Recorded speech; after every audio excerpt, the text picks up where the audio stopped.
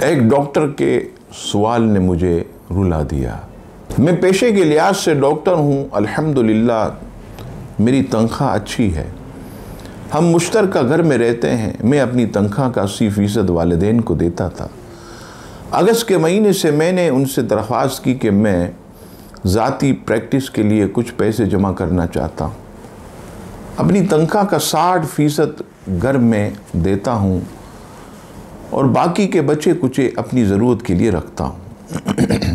باوجود میری کوشش کے کہ میں ان کا بہترین خیال رکھ سکوں، والدین کا رویہ میرے بیوی بچوں اور میرے ساتھ بالکل بھی اچھا نہیں۔ ازدواجی معاملات سے لے کر بیوی بچوں کی دیکھ بھال تک ہر معاملے میں اعتراض۔ شکوک اور دل آزاری کا کوئی موقع ہاتھ سے نہیں جانے دیتے۔ ایسے میں الگ گھر بیوی بچوں کے حقوق شریعت کی روح سے کیا آکام ہے؟ اگر والدین یہ مطالبہ کریں کہ بیوی بچوں کو چھوڑ کر صرف والدین اور بہن بھائیوں کا خیال رکھو تو کیا حکم ہے؟ الگ گھر کی صورت میں میں والدین کو تنخواہ کا کتنا حصہ دینے کا پابند ہوں۔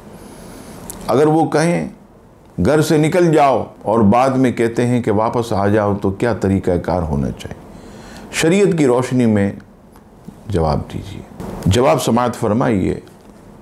شریعت مطالعہ نے ماں باپ اور بیوی بچوں دونوں کو علیحدہ حیثیت اور مرتبہ دیا اور دونوں کے علیحدہ حقوق بھی مقرر فرمائے۔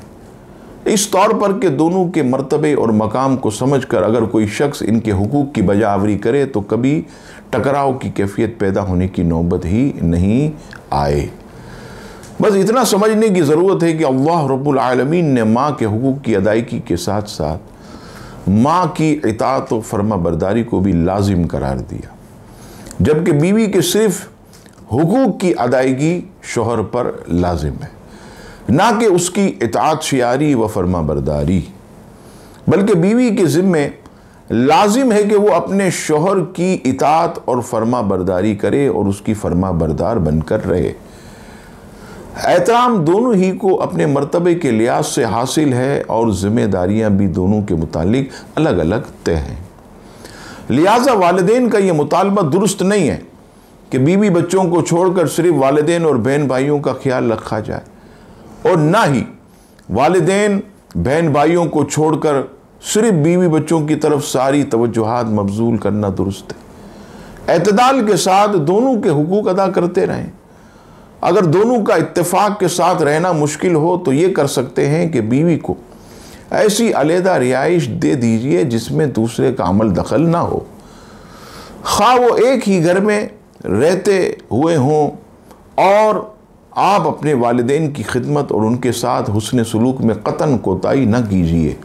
اگر والدین کی خدمت کا کوئی اور بندوبست ہے تو ان سے جدا ہونے میں بھی کوئی قباحت نہیں ہے۔